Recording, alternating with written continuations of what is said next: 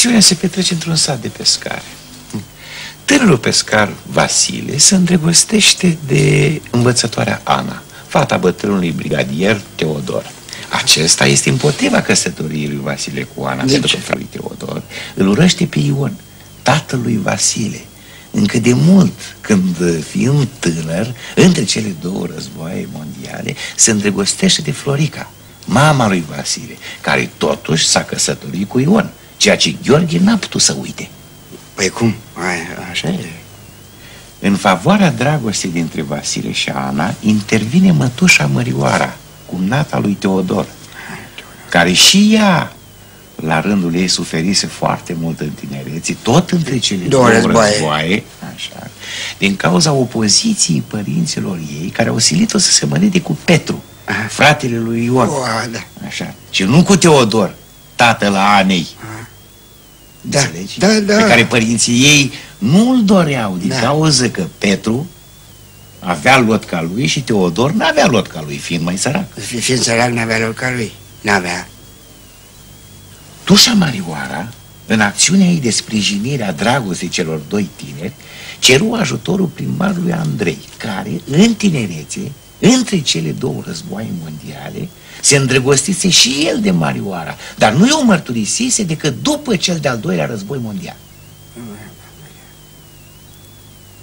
Astfel că fusese nevoit să se căsătorească cu sora lui Toadeș și a lui Gheorghe, devenind și el unchiul Anei, la care ține foarte mult.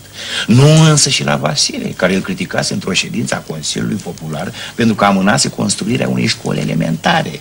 Deși vinovat de amânare nu era primarul, ci vicepreședintele Consiliului Popular Costică, care o iubise și el pe Ana, dar eh, pe care bineînțeles că Ana nu-l iubește, tocmai fiindcă vicepreședintele Consiliului a dat întâietate construirii unui bufet modern luminat cu neon, în loc să aprobi construirea unei școli elementare și asta pentru că a fost influențat de Gheorghe, unchiul Anei și nașul lui Costică Aha. care de când Ion s-a căsătorit cu Florica, pe care și el o iubise de mult între cele două războaie mondiale, s-a apucat de băut, așa că el a simțit de timpuriu necesitatea construirii unui bufet modern luminat cu neon, pe lângă cele două bufete mai vechi, făcute înaintea primului război mondial. 916.